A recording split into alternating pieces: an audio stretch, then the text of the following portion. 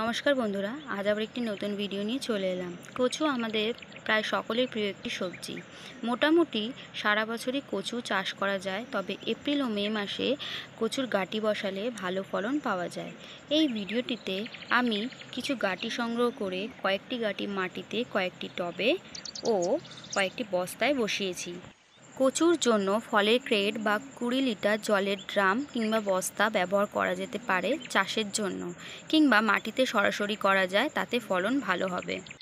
আশি শতাংশ বাগানের সাধারণ মাটি ও কুড়ি শতাংশ ভার্মিকম্পোস্ট মিশ্রিত করে আমি মাটি ব্যবহার করেছি কচুর জন্য।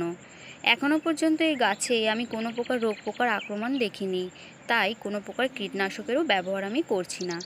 কচু বিভিন্নভাবে খাওয়া যেতে পারে। এর লতি এবং কচুর শাক কিংবা কচু হয়ে যাবার পর গাটিও আমরা খেয়ে থাকি।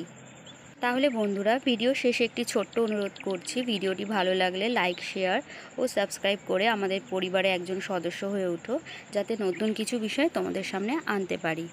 ধন্যবাদ। সবাই ভালো থেকো।